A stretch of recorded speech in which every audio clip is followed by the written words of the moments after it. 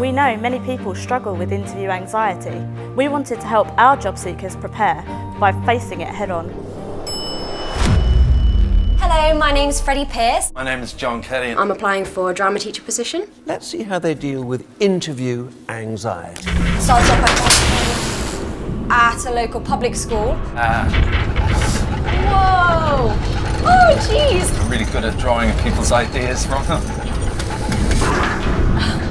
I don't even know what we're meant to be talking about now. Pitch complete. How was that? It reminded me of my first day of school. Yeah, it was intense. You were very kind of aware of what was going on around you, and we tend to do that when we're nervous.